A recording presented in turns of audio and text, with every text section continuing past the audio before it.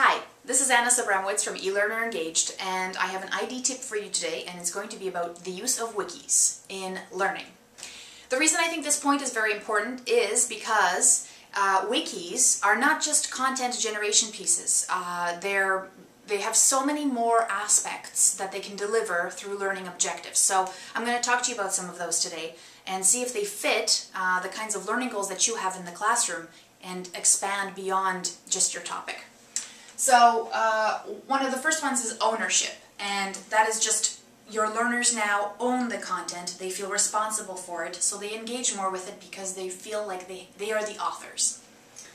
Also, the content is a little bit more current, so as current as the internet is. So you're no longer uh, just referring to sometimes decade-old textbooks. You're now using content that is out there, that is live, and also it's very, um, it's, it's updated way more frequently than anywhere else. Uh, team building, huge. Uh, learning how to work with others, delegate work, uh, and accountability. Those those things that are not just specific to your topic. They're they're uh, skills that can be transferred outside of the learning into the work and life of those people you're engaging with.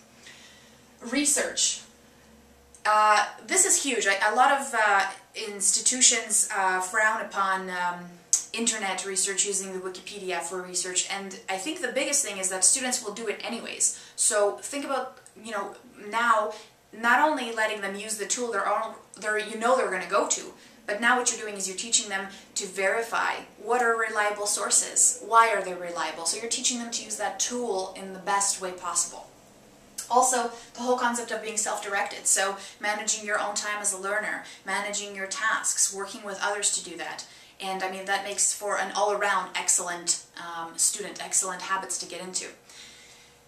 The reason I put this here, this, uh, this is a representation of an unhappy student moving to a happy student. Your students will initially be unhappy about something like this. They might be. Uh, and mostly it's because if they've gone through the system, they're used to a very passive way of receiving information and then, you know, throwing it back at you, uh, regurgitating it, recall uh, wiki is much more much more work uh, involved. Uh, there's um, there's a lot more collaboration involved and accountability.